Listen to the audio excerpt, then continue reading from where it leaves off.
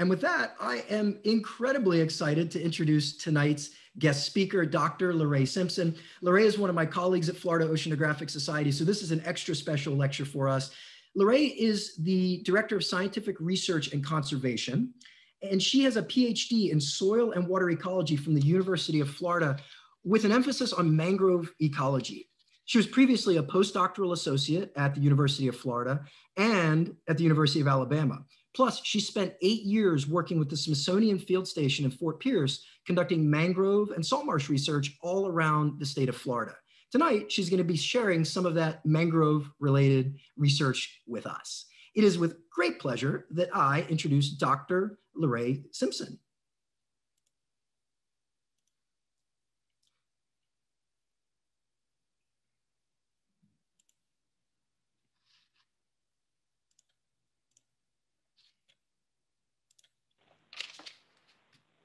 All right. Thank you, Zack. I appreciate the very warm welcome. And I'm excited to see everybody here today and to spend the evening with you. I'm actually very, truly honored to be able to hang out with you in your living room amid these times and to tell you a story, a natural history story that is actually really near and dear to my heart. As Zack said, I've spent almost the last decade working in this system uh, here in Florida, especially. And so to be able to tell this story is really, really cool. And so the talk that I'm going to give today is going to be a mix of basic mangrove ecology and the work that I have done with collaborators both nationally and internationally over the last decade. But before we get into the nitty gritty of these migrating mangroves and what they're up to, we really needed to start with the basics. Find this laser. All right, so many of you are probably very familiar with these ubiquitous trees along the Indian River Lagoon, as well as other brackish and even freshwater waterways here in Florida. I'm sure that you can pick out the, the red mangroves with their big prop roots, as well as the black mangroves with, once they get to a certain age, you can tell that they're black by their black bark. And if you're really good, have a really good trained eye, you can probably pick out the white mangroves because their leaves have this really bright green color that is very different from the other two mangroves in this system. But the term mangrove doesn't necessarily um, just talk about trees. It doesn't refer to a specific taxonomic group of these species. It actually refers to species that are able to grow in saline soils. And these species are found all over the tropics and the subtropics. And so while here in Florida we have these three trees that make up mangroves, if you went to other parts of the world, you would run into a mangrove fern, a mangrove hibiscus, um, a mangrove palm. And so it's very interesting to note that while we just have these trees here, there are different, there's like a stage of different classifications that make a mangrove a mangrove. So a mangrove obviously is very different than a salt marsh grass. But what are those? And so the first one is kind of general and kind of obvious, but these mangroves only occur in the mangrove environment and does not extend in terrestrial communities. So the niche that mangroves can live in or the area that mangroves can live in is very narrow, right? They need to be in saline soils or they can live in saline soils. They're tidally inundated once or twice a day. And this really outcompetes a lot of the other species or those terrestrial species that can't live in these um, situations. And so in order for a mangrove to be a mangrove, they have to be able to live in these very narrow niches. And to do so, they have morphological specializations uh, or adaptations to that environment. And so, for example, these roots, these prop roots that we mentioned, these big red prop roots, or the pneumatophores that are found in black mangroves, those allow the tree to breathe when all of the roots underground are underwater. Just like you and I, a plant can't survive by being underwater, it will drown. And so these roots above water, they act to pull in oxygen when the trees are inundated and shunt oxygen down below to keep the tree alive. Another morphological specialization that these trees have is vivipary, and we'll talk about this a little bit more. But essentially what this means is when you see a mangrove propagule floating in the water or one on the tree, what happens is that propagule actually germinates before it leaves the parent plant.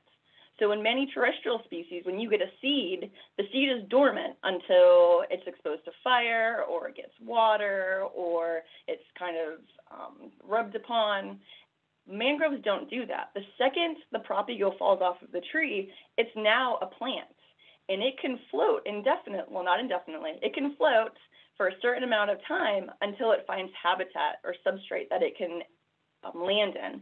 And when it's there, it will start to put out roots. But while it's floating, it's already putting out roots because it's an active plant at that point.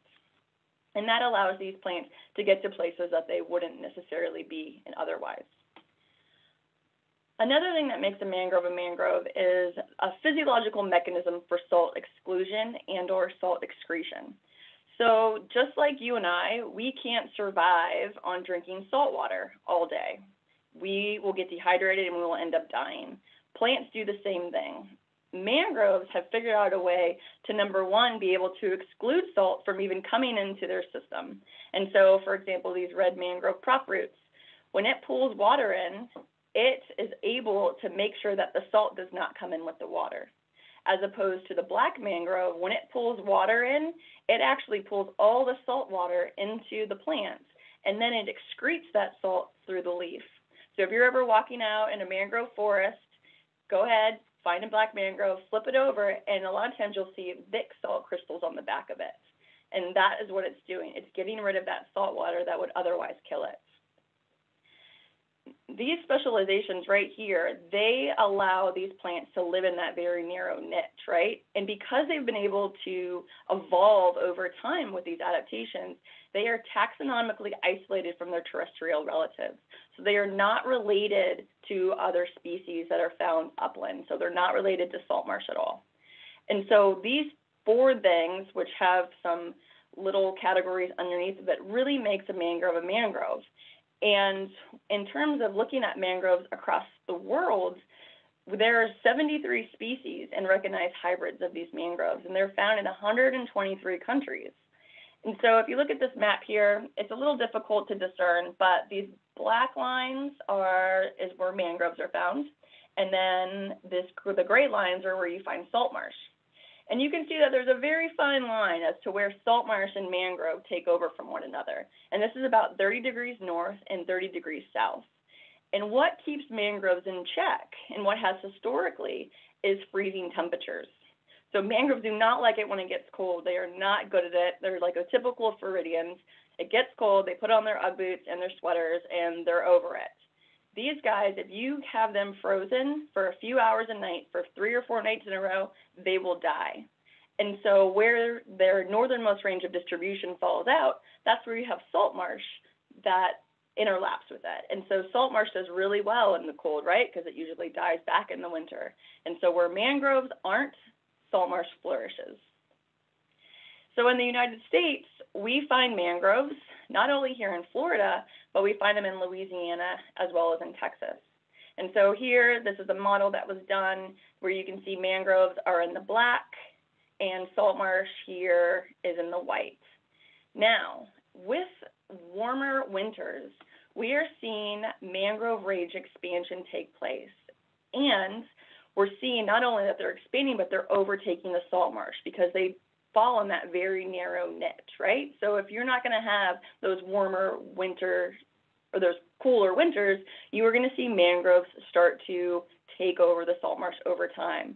So effectively, one day we may be looking around and not only see mangroves in Florida, Louisiana, and Texas, but we might see them in Georgia as well as Alabama and Mississippi.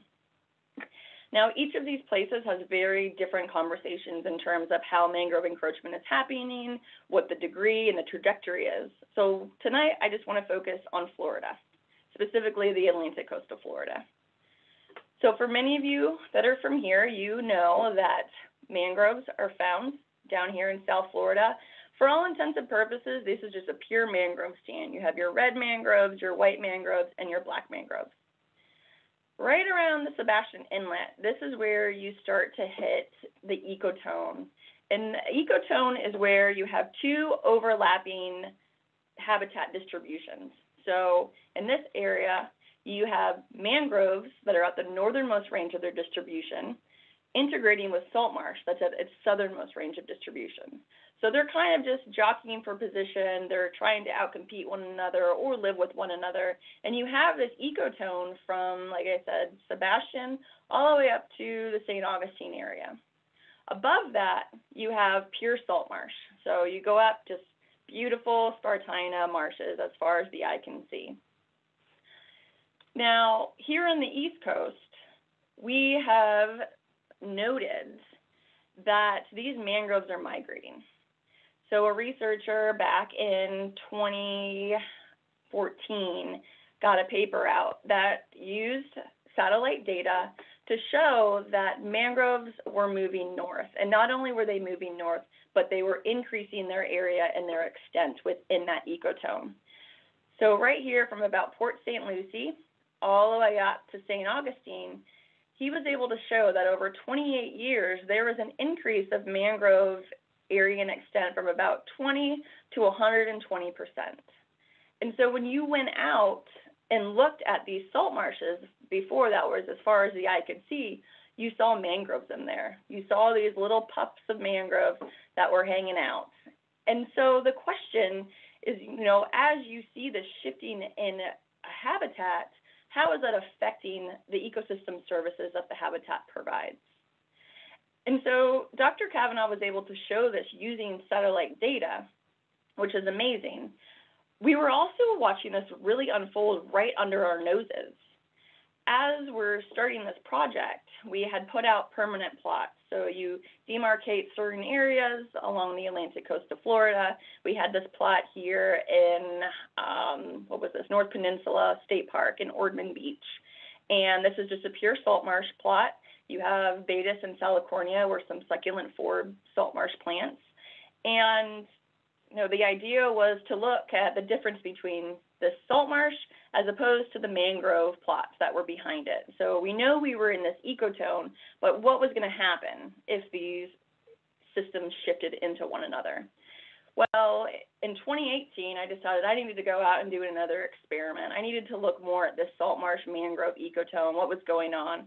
So I walked out there to this same plot, and lo and behold, it had changed completely. There were 252 trees that established in that plot in just three years.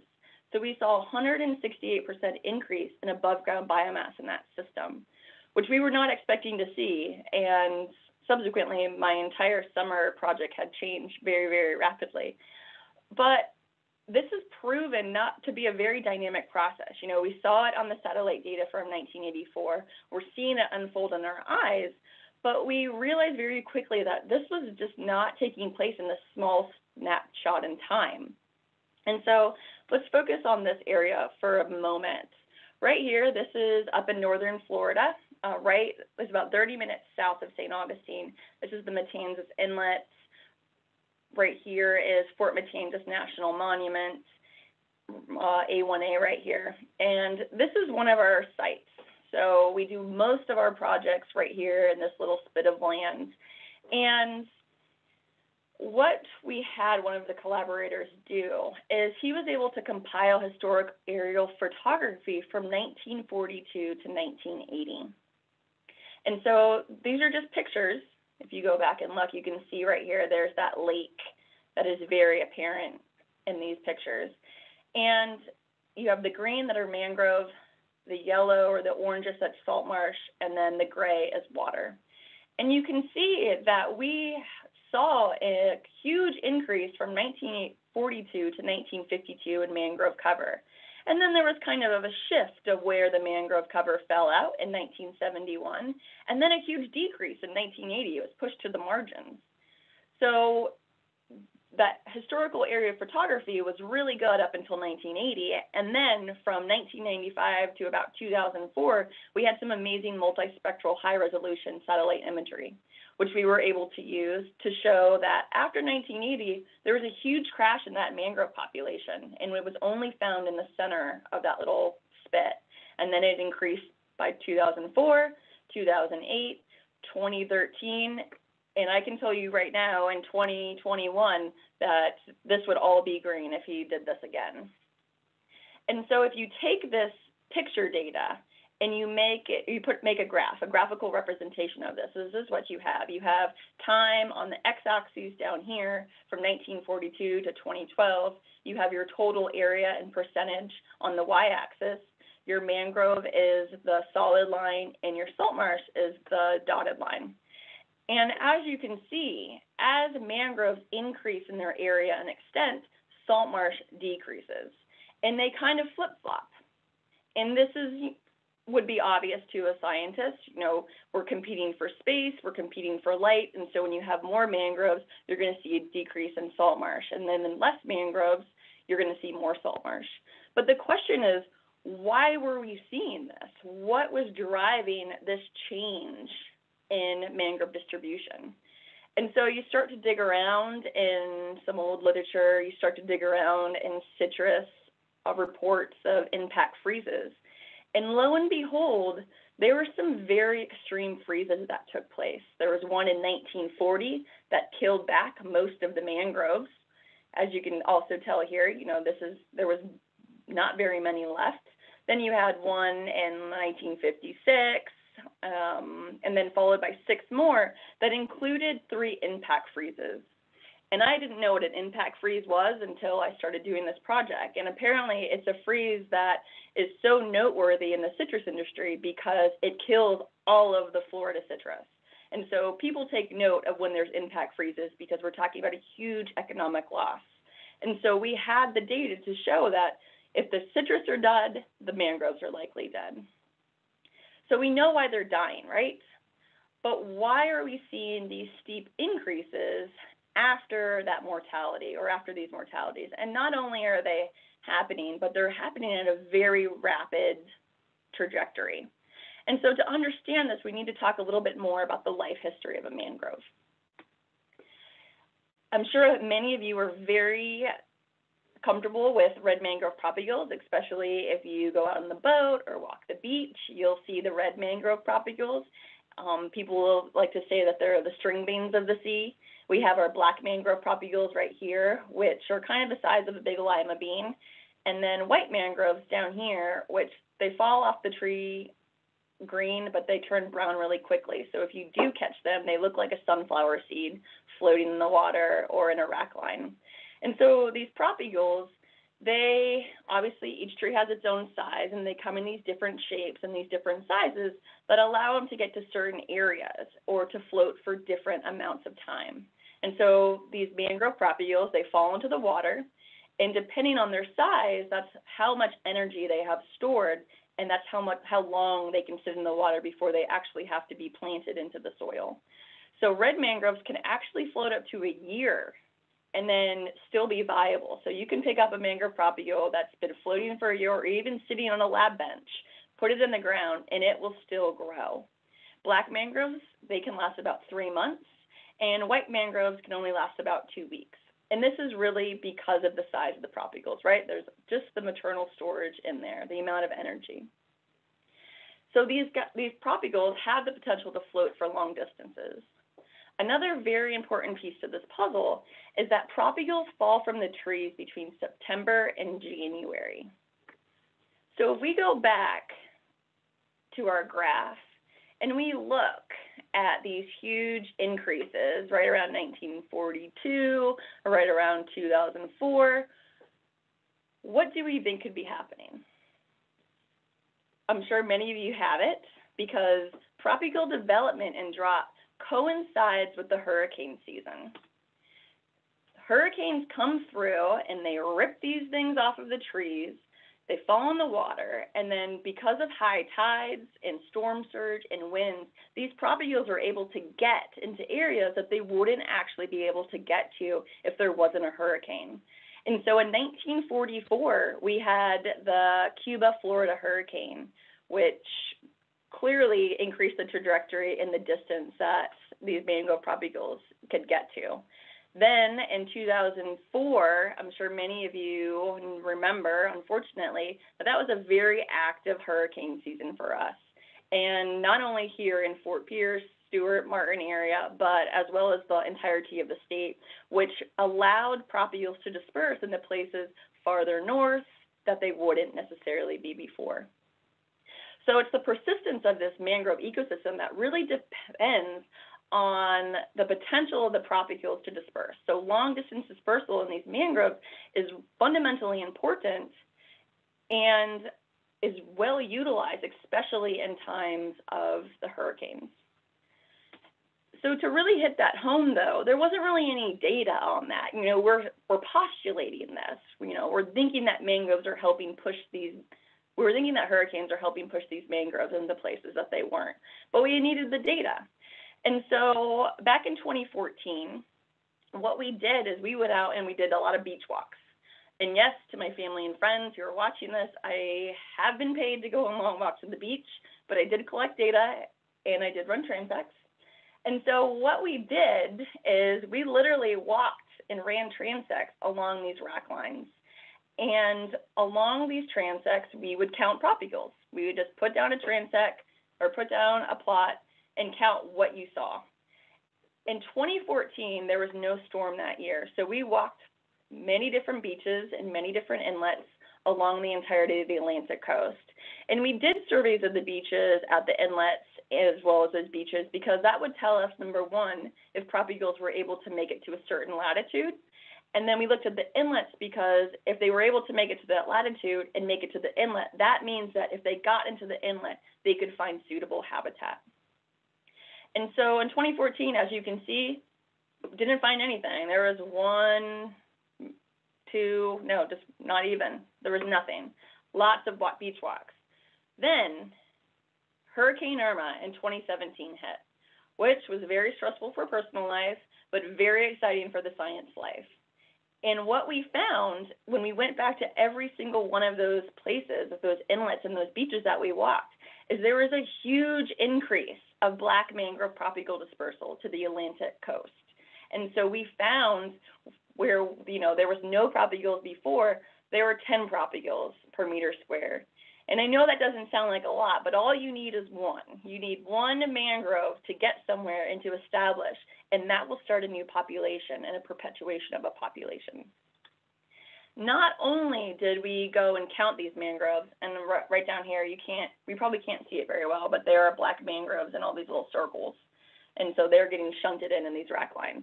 But not only did we do this count, we collected a bunch and we sent these off to a collaborator who did some genetic analyses on them.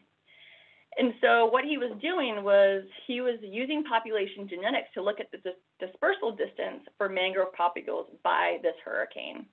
And without getting into all the nitty gritties of genetic analyses, what he found was that propagules from Cedar Key were actually found all the way around 620 miles later in the Matanzas Inlet. Propagules from the Everglades were found all the way up in the Matanzas Inlet. And so these mangroves were traveling extensive distances, and not only were they getting there, but they were still viable and they were still able to grow. And so it's funny because a lot of times people will talk about, oh, I don't want mangroves in my house or on my property. I don't want mangroves up in my salt marsh. You know, get them out. Mangroves will get there, and so just give them the time, give them the space, give them the hurricanes. They will show up, even if it takes them 620 miles. And so, if we bring it all back together in this conversation about expansion being dynamic, we know it's happening we know that these mangroves are going long distances. We know that a lot of this is driven by temperature, right? So we had a collaborator that reconstructed a mangrove suitability model time series. And essentially what this is, is this is just a model that's run based on minimum temperatures over um, historical time periods, so pulling old data. And this line just shows minimum temperatures and then you have this mangrove suitability. This is a unitless measure. So from zero to five to one, you have mangrove dominated system, and then 0.5 to zero, you have a salt marsh dominated system. And you can see there's a lot of variability that this model picked up. And this is just the computer program that's running this model, right? It's just saying, based on the temperature, mangrove should or should not be there. Well, one of the collaborators spent probably five plus years digging through old maps, sailing charts, journals, diaries, beekeeping newsletters, citrus reports, and was able to match up eyewitness accounts or primary literature that collab- collaborated with the model. And so there's a lot of words on here, but there are converse or there are, there's peer review or primary literature, I'm sorry, where William Bartram made mention of mangroves being in Anastasia Island, which is up by St. Augustine, in 1766. John Muir actually wrote about them in the 1800s being on Fernandina Beach. There is actually a paper that was written on manatees. There was a severe freeze back, I think, in the 1890s um, that they were talking about manatee mortality, but there was a side note that said nearly every mangrove tree along the Indian River was dead, which blows my mind because out on the Indian River now, these trees are tall, they look great, but at one time they were completely wiped out. Another interesting thing that she pulled was that prior to the freeze, the black mangrove um, was used as an important source of honey. So there was a honey industry in northeastern uh, Florida. And so in these beekeeping journals, they reported how the freezes how were in, destroying entire stands of that honey producing tree. And so it's just so fascinating to find these snippets of mangrove ecology as a side note but they're really important to understand the life history and the ecology of the species. Well, another really cool thing, and then I'll get off of this expansion is dynamic, is she went through a bunch of photo archives. And so, you know, these people are on vacation or someone's taking a picture for a postcard. And by looking at these photos, you're able to see where mangroves were. So this is a picture right now of Fort Matanzas up in St. Augustine, right by the area where we do a lot of our work.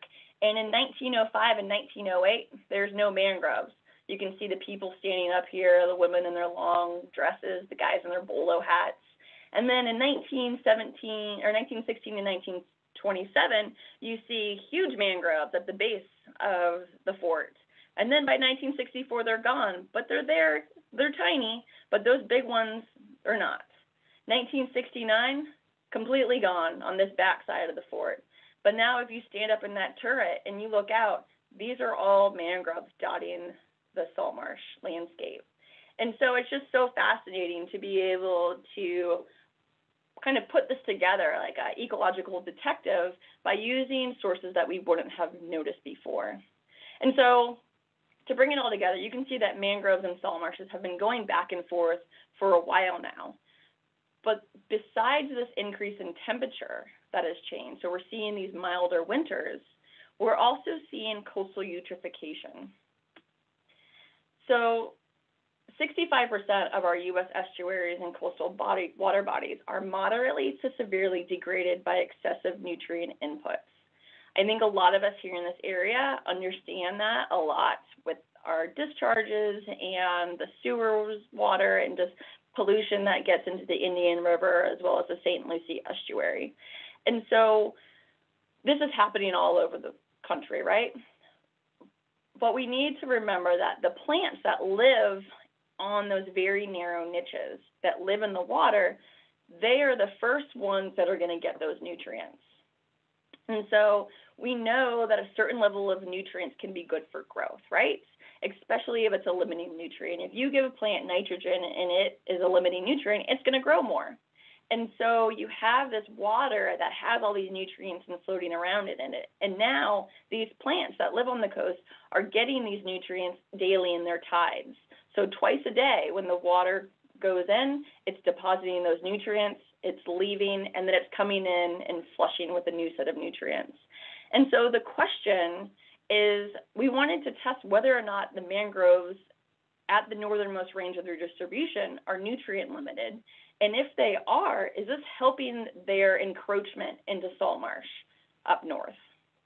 And so to do that, we have to go back to our little spit of land that we love and adore. And this is what the system looks like. So this are, or these are scrub Avicennia germinans or scrub black mangroves, very different than the mangroves that we're used to down here in South Florida. And what we did was we went out and we picked a series of trees. We picked several trees to just fertilize with nitrogen. We picked several trees just to fertilize with phosphorus. And then we picked several trees that we just left alone. Those are the control. We need something to compare this nutrient project to, right? So this experiment was set up in 2012. And before we started the experiment, we went through and we measured the height of each tree. So you can see that we started, here's our control tree, our nitrogen tree, and our phosphorus tree. All the trees are the exact same heights. Well, we go back in 2016 and we take those same measurements. We've been fertilizing these trees every single year. And what did we see? A huge increase in growth in the nitrogen tree. So the control tree and the phosphorus tree, they perform the same, which suggests to us that phosphorus is not a living nutrient in the system, but nitrogen is. The nitrogen trees grew 24 centimeters more than the control and the phosphorus trees over that time period. I think the best way to see it, though, is to see it visually. So here's a picture of the control tree. Each tree has a PVC pole that's stuck right next to it, so we can put our important information on it, tag it, make sure we don't step on it. This is the control tree. You can see the PVC pole just fine. Here's the phosphorus tree, same vantage point. And then you have your nitrogen tree, which is completely covered up now by the canopy of the nitrogen enriched tree. And so not only are we seeing these trees get taller, but we figured out a little bit later that they're getting wider. So as these trees got taller, like we're used to here in Florida, right? The trees go straight up, they have a big canopy up high. These trees, while they were getting taller, they were getting just bigger. And so by increasing that area, which you can see here in this nitrogen tree, as opposed to these control and phosphorus, which should stay the same, they are effectively outcompeting the salt marsh species. And this is through light limitation, through nutrient absorption. So these trees get big, the mang or the salt marsh dies back. And so now we know that these mangroves can persist in these areas without freezes. And the nutrients are actually helping them to encroach and outcompete the salt marsh quicker. So we were very proud of ourselves. We figured this out. We showed that mangroves were moving north, nutrients were helping the spread of these mangroves, and then disaster hits. In January of 2018, it froze.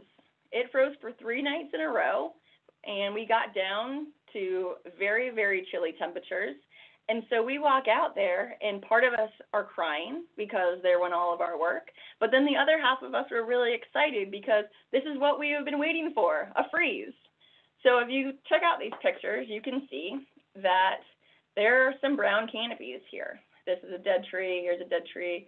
There's little tiny, some of these saplings are dead that are dotting the landscape, some brown canopies here. So there was a mortality event that took place. But at the same time, if you know, there are still mangroves that are green. So we had to go straight to our nitrogen enriched trees and our control and our phosphorus trees. And what we did is just a quick proportion of canopy that was brown. So we just walked to every tree and said, this is how much of the canopy as you're looking down looks to be dead or is brown. And so the control trees, you had about six or about 70% of the canopy that was dead. In the phosphorus trees, you had about 80% of the canopy that was dead. And then when you got to the nitrogen trees, it was like 10% of the canopy was dead. We weren't expecting this, but it was a beautiful story because these trees that got big enough were able to buffer those cold winter temperatures. So if the canopy was big, you had that the area and the height, it stayed warm at the base of that tree. And that effectively protected it during those freezing temperatures. And so now we're like, what's going on? Nitrogen will survive, but the carbon or the control and the phosphorus will die. You know, what's going to happen with nutrient enrichment? But then something weird happens. Every year, we go out and we measure shoot elongation. And essentially, you look at one branch off of the mangrove and you just measure how much has grown over the last season. And so this is shoot elongation on the y-axis. This is centimeters a year. Down here on the x are the winter to winter growth periods. So right here, oh, and then we have the nitrogen, which is in the triangles, and control and phosphorus, which are in the circles and the squares. And so right here on this winter, 2017 to 2018, this is where the freeze happens. Well, everything's brown, everything's dead. Wow, this has changed our story.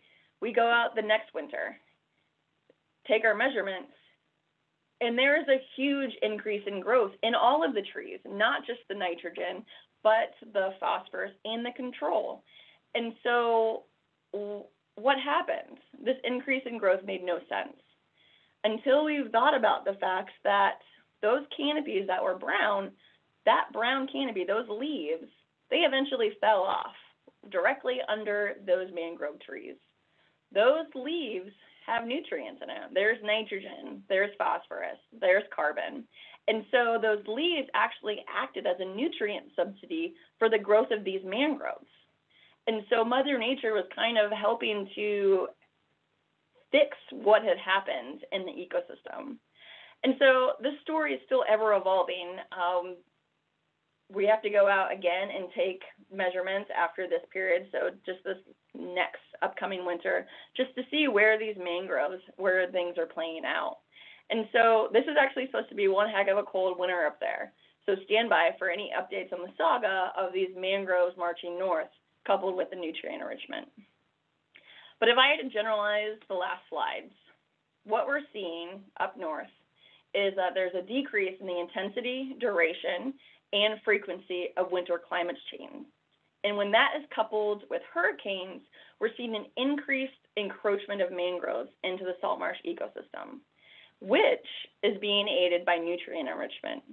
And so as you're changing the system from salt marsh to mangrove, you're going to see alterations in the species structure and productivity, which is eventually going to lead to shifts in ecosystem service provisioning.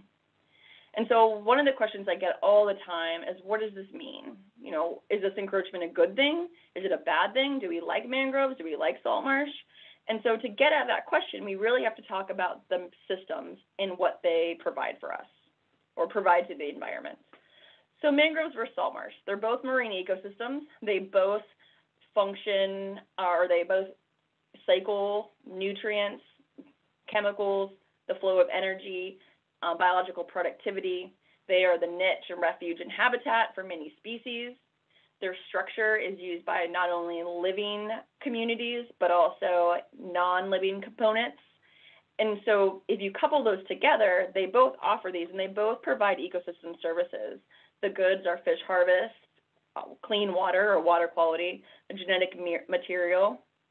Personally, they offer us recreation, tourism, fisheries, coastal protection, erosion control, pollution control, habitat provisioning, um, carbon storage. And so because they both offer the same ecosystem services, which is quote unquote better? You can't answer that question because they both give the same things.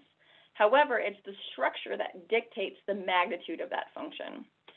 So if you look at the salt marsh, this is in Merritt Island National Wildlife Refuge. This is the Distichlis Marsh. Then look at St. Lucie Inlet State Park. These are a bunch of red mangroves. You have herbaceous grasses and succulent forbs that every year they die back. So they don't have a big above ground biomass capacity, right? Whereas you have woody mangroves, which are tropical evergreens, with this huge network of roots and this large canopy. These trees right here, they're about 16 feet tall. And we know from literature that a three foot mangrove can have roots that extend up to 20 feet. And so when we're talking about structure, mangroves just have so much more of it. And so the magnitude of services that mangroves can pro- provide is in a lot of cases greater just because of that structure. So let's just go through a few examples of these ecosystem services that are performed by both mangroves and salt marshes. The first one would be storm protection. So storm comes in, you have rising tides. As the sea comes through these mangroves, it enters, right? And as it enters, it loses energy as it passes through this long, tangled above ground roots or all these biomass. And the height of that wave is rapidly diminished.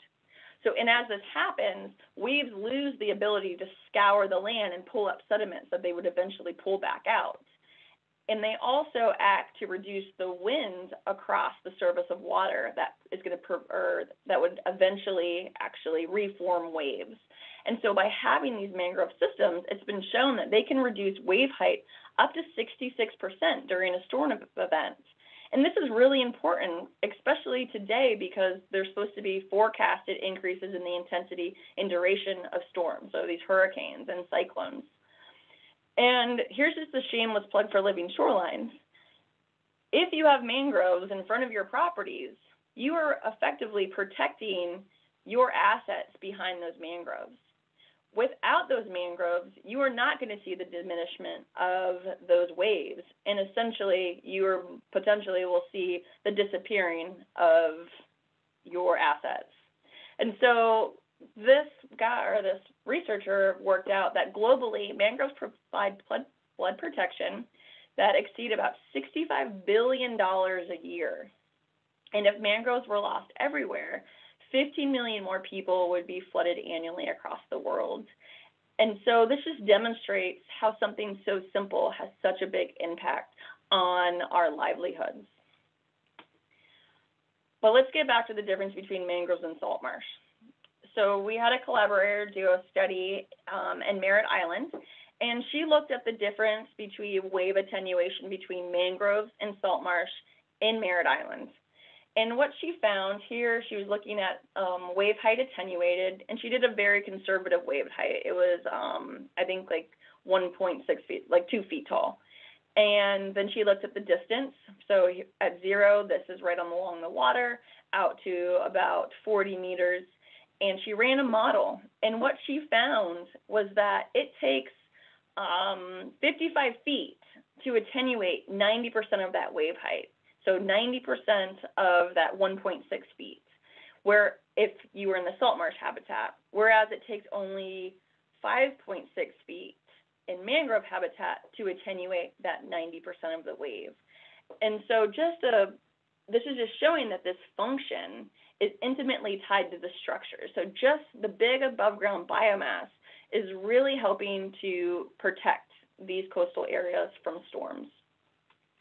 This is also really tied to erosion prevention. So as I mentioned earlier, as these waves come through in these systems, they scour the land. And as they bring up sediments and pull up plants, those are eventually pulled back out into the water when the water moves back out. And so she also found, and don't get too bogged down in a lot of this, I know that it, it didn't translate very well, but this is total erosion avoided and yellow is mangrove, green is in salt marsh. And what she found was erosion prevention was 470% higher in the mangrove habitat than in the salt marsh habitat. And so what this mangrove vegetation does is it reduces that wave energy and it slows that flow of water over the soil surface. And so it won't dislodge those sediments and carry them out of that area. And at the same time, as it's slowing it down, the water might sit longer. And if there's any suspended solids in that water, they'll eventually fall out. And then that water will move, leaving the sediments behind. She calculated that if mangroves were put in place of man made structures, whether it be riprap, seawalls, bulkheads, it would equate to a savings of more than $4.9 million in terms of erosion prevention staggering numbers when you start to think about it. And so this ecosystem service snowballs into the process of sediment accretion. So if you're if you're not losing sediment, if mangroves are stopping sediment from losing the system, you're likely gaining it, right? And this is a hallmark of a healthy system. And so these researchers, they looked at sediment accretion and retention um, in four different um, locations. And what you have here on the y-axis is vertical sediment accretion, and then this is just over time on the x-axis. Mangrove is in black, salt marsh is in the dashed line, and in every single instance, there was an increase in sediment in the mangroves more so than in the salt marsh system. So this was over three years. And the differences that we're seeing were only millimeters, right, over those three years. There was several millimeters more soil or sediment in these systems than in mangrove or than in salt marshes. But this makes a huge difference when we're talking about keeping pace with sea level rise. And so every system is different. So the degree of accretion is could be very different depending on where you are. But these warming temperatures that we're seeing in our atmosphere are leading to an increase in sea level, which means that someone like us that live in Florida, we're going to need to move to higher ground at a certain point. But mangroves may be able to help mitigate that by accreting more sediment over um, a yearly period. And so another ecosystem service that ties into that accretion conversation um, is that of carbon storage. So mangroves sequester atmospheric carbon to form their leaves, their stems, their branches, and they do this through photosynthesis. So they pull carbon out of the atmosphere so that CO2 comes out of the atmosphere. They sequester it into their biomass. And so you have vast quantities that are tied up in these living trees. Well, these trees die, leaves fall off, and what they do is the, the wood, the roots, the leaves, they fall into the water. And unlike many other forests, they could actually store the carbon that fell into the water away for a long period of time because decomposition is very slow in these systems. And this is because of the saline water log conditions that just prevent decomposition. And so these mangroves are actually seen as a critical for long-term storage and sequestration of carbon as they remove it from the atmosphere and store it in their soils. As they store in their soils, though, because it doesn't decompose, so it doesn't leave the system, that means that it stays there. And as it stays there, it builds on top of one another over time. So over centuries, millennia, what we actually see is that mangroves grow up in vertical relief, in vertical profile. So if you leave this sediment undisturbed, this serves as a long-term carbon sink for atmospheric carbon that would otherwise remain in the atmosphere and exacerbate climate change. So what do we see here in Florida in terms of mangroves and salt marsh? After doing an extensive survey along the Atlantic coast, we found that there's 32% more carbon in mangrove above ground biomass than in salt marsh. So this is total carbon. This is megagrams of carbon per hectare. On the y-axis, here we have just mangrove species and salt marsh species. You can see that the soils were pretty much the same to 50 centimeters. But then on top of that, there's a huge increase in carbon due to that above ground biomass storage.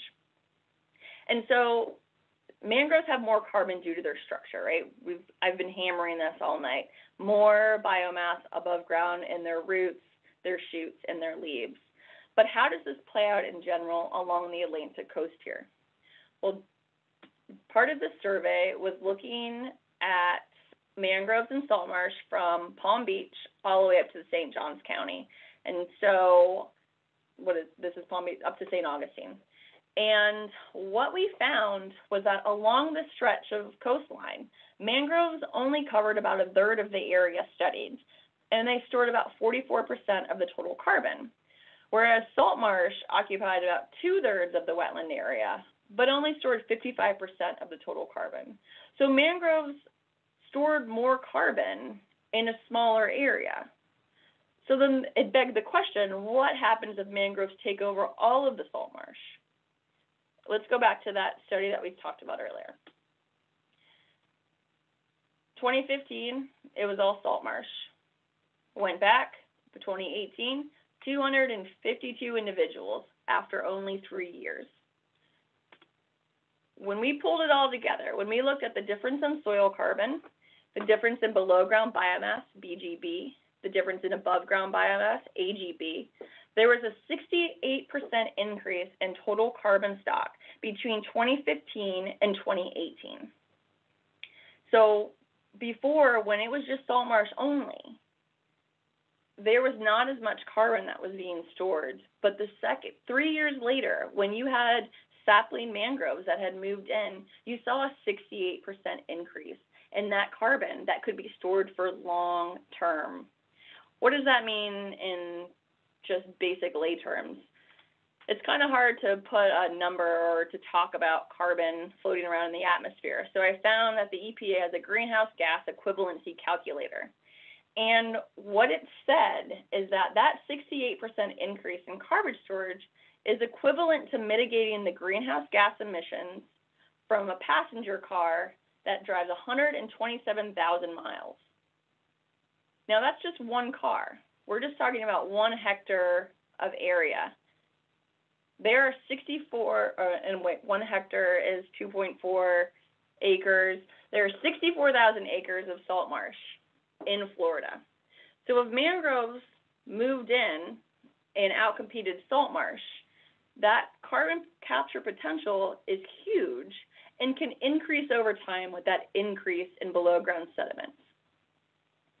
So the expansion feedbacks that, you know, they're both wonderful systems and one is not better than the other. They both offer the same ecosystem services.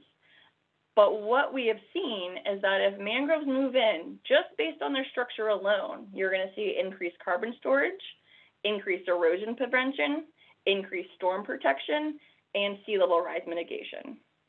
I will say that I haven't touched on other ecosystem processes, whether it's water quality, nutrient cycling, fisheries, habitat for birds.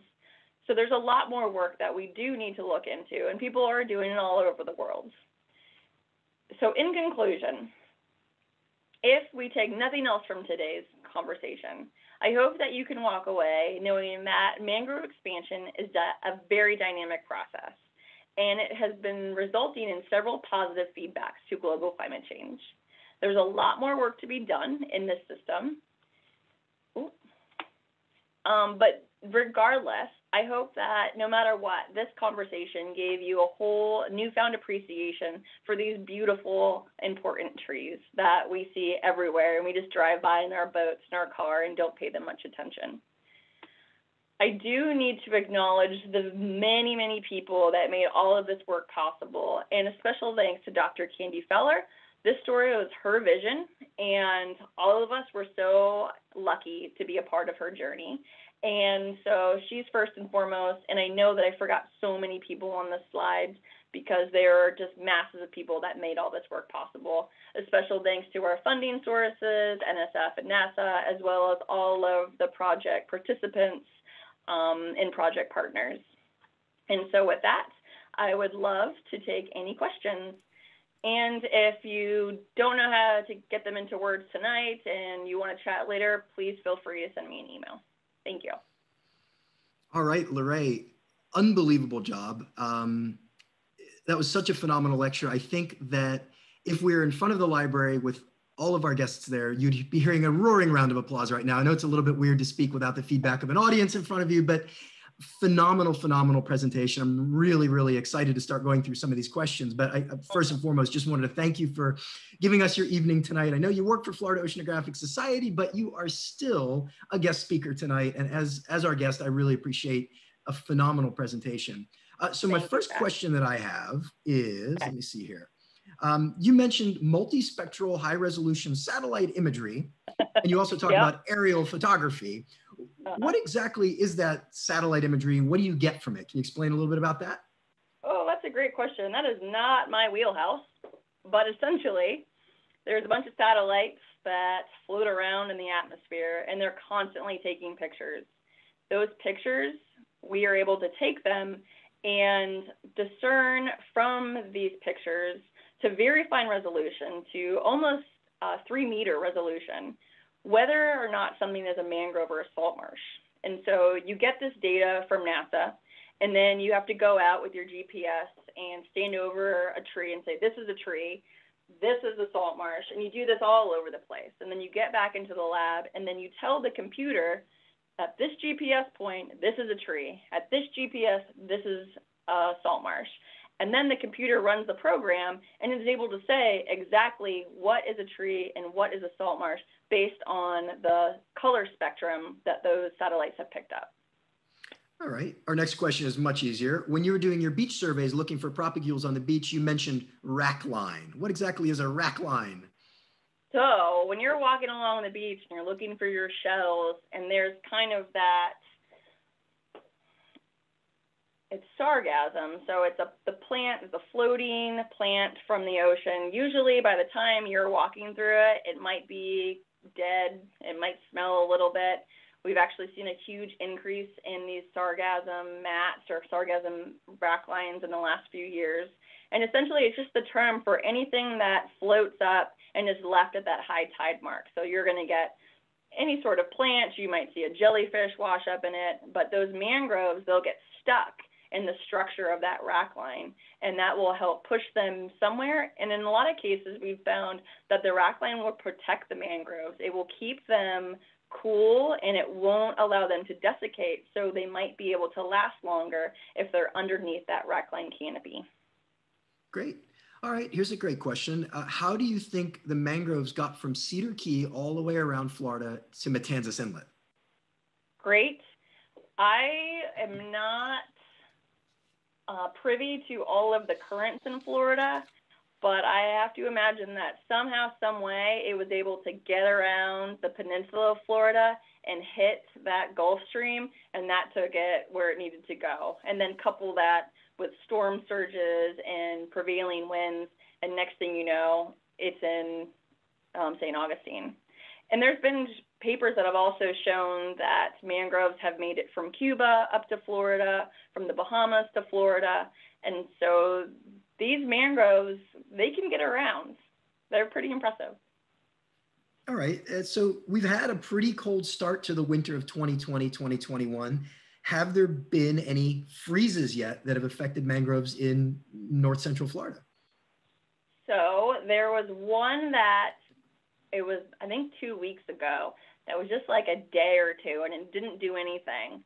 But we got really like excited about it, and so what we did was we ran out and we took a bunch of temperature loggers and we put temperature loggers above the salt marsh canopy and below the salt marsh canopy where these mangroves are, just to see if there's differences in those microclimates. So if mangrove propagules get in under those salt marsh canopies, the batis, does it actually act to warm those propagules so they can persist on to the next generation? And so we may be losing some of these bigger trees as the they or the defoliated, but are the is the salt marsh actually protecting the seedlings under that? So there's so many more questions, and we're so excited to keep this project going. So you're excited about freezing your mangroves? Yes, which hopefully is soon but I have the HOBOs out. They can last for about 274 days right now. So we'll get something. All right. So one of our viewers has a question about what can be done in built up areas where seawalls and riprap shoreline have, have essentially replaced historical mangrove line shorelines. Um, well, it doesn't make much sense to start pulling out seawalls. That's a huge time commitment, of huge resource investment. I would suggest that if we're talking about shoreline protection, erosion control, um, habitat provisioning, to plant a mangrove in front of that seawall and have a hybrid um, living shoreline is just as effective as just not having that shoreline or that seawall there. And so, yes, you're not, you may not have the same slope, but you're still offering that habitat with the tree that wasn't there before. And that's the same as putting them in riprap. You can put, if you plant mangroves in the riprap, you can trim them to a certain height and you will be able to get those services even though you've already shored up your shoreline. All right. So you were talking about ecosystem services that are provided by mangroves and salt marsh. And on the list, I, I think there was a, a, genetic material was listed. And mm-hmm. the, the guest is curious what you what you meant by genetic material as an ecosystem service. Yeah. So I think if we take um, a crop, for example, let's say a clonal crop like bananas. We have bananas, they all have the same genetics. And so at a certain point, if something happens, if a fungus breaks out, that has the potential to kill all of those bananas, right? If we are able to increase the genetic material, so increase the different genotypes in a system, so it's not a monoculture, we will effectively be able to save a population potentially if something was to go wrong or if some something did break out and potentially kill everything.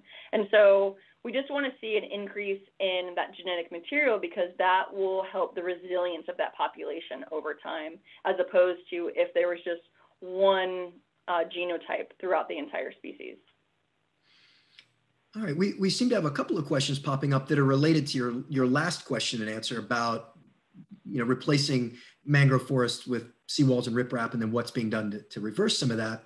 Uh, a guest asks, if you're a local waterfront homeowner, what's the best time of year? What season is best to plant mangrove seeds and propagules? And then related to that, are private landowners along waterfront areas allowed to plant mangroves on their own property? So those are two good questions, two different viewers, but very related.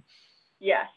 Well, the best time to plant a mangrove propagule is right around when they fall off the tree. So you're that's what early fall winter time. I just had mangrove plantings here where we have volunteers that come out and they plant mangrove propagules and we just did that in December. And so we planted like 600 baby propagules, which was really cool. Um, so that would be the best time. But if you found a mangrove propagule still floating today, it could still potentially be viable, especially if it's a red mangrove. So if you're walking down the beach and you see one, go ahead, and stick it in the ground, see what happens. In terms of homeowners planting their own propagules, I, I'm not going to speak on that because I really don't even think a man or a homeowner has to do that. Mother Nature will get a propagule there at some point, some way. Um, but I actually don't know if there is a regulation I think you're not allowed to take them off of the trees and plant them, but if you found one floating around, I think you're okay. But I have a feeling I'm going to get an email from DEP after this. So stand by on that. I'll get back to you. Send me an email. All right. Still along kind of the same line of questioning. Uh, one guest asks, I, I like to try to help plant mangroves to stabilize sandbar areas in the Indian River Lagoon. Will this help establish new trees and also which end should I stick in the sand? And there's actually more than one person who's asked which end is the top of a mangrove, red mangrove propagule and which end is the bottom. So that's a very, very important question if you're going to try to replant these on your own. This is a very important question. And when we're talking about the red mangroves, brown goes down. And so the bottom of the red mangrove has kind of a brown coloration that goes in the soil. And then if you look at it closely, you'll actually see the very top of the mangrove, so the opposite end, those are the leaves already. They're there. They're just kind of tiny and folded over on each other. So just look closer. But yeah, brown goes down. Um, in terms of where to plant mangroves, it if we're planting them on like a random sandbar in a very um, high energy place, they're probably not going to do very well. They're going to they need some time to establish. So they can't be a lot of waves, there can't be a lot of boat wake, and so they're not going to do very well there. And it just really like it just really depends on where you're planting them. They would prefer to be in a place that was not high velocity. All right. Uh, are there any rules in place to protect current mangrove areas from development or removal or over pruning or trimming? Yeah, there are a lot of regulations when it comes to taking mangroves out as well as cutting them to certain um, levels. If you can't just go and pull up a bunch of mangroves to build a home, you have to go through um, a lot of processes, and there's a lot of mitigation that goes into that. But I hope that we noted from this conversation that building in a house where there was a mangrove prior probably isn't a good idea because those waves one day they're going to come and they're going to get you. So. You know, I, I, can say that in, in my years on the water working in the Indian River Lagoon, I've, I've had a number of instances where I found mangroves that were illegally removed. And in, in every case, the DEP issued some pretty, pretty severe penalties for the people that remove those mangroves. So thankfully here in Florida, our, our government is doing a reasonably good job of trying to enforce those rules and regulations. Here's if a fantastic questions about the rules and regulations, just go on the DEP website. I had a feeling this was going to come up, so I did have one little slide, but you just go down here, DEP, suburban land, blah, blah, and mangrove frequently asked questions, and they'll answer a lot of questions that you may have on this. So this is this is a great question from one of our viewers. It's actually one that, that I was going to chat with you about tomorrow. Are there any impacts to specific species, particularly imperiled species, that are anticipated by this shift from salt marsh to mangrove? Hmm. Oh, we're probably talking about some sort of critter, charismatic megafauna. Yeah, I would I would imagine probably probably critter, but maybe another important plant that's being pushed out too. So in terms of plants, as mentioned, you know, this is a really harsh environment that mangroves and salt marsh live in. And there aren't very many plants that can survive there. You know, saline water, so salt water. You're underwater twice a day. For some are under a lot of water twice a day.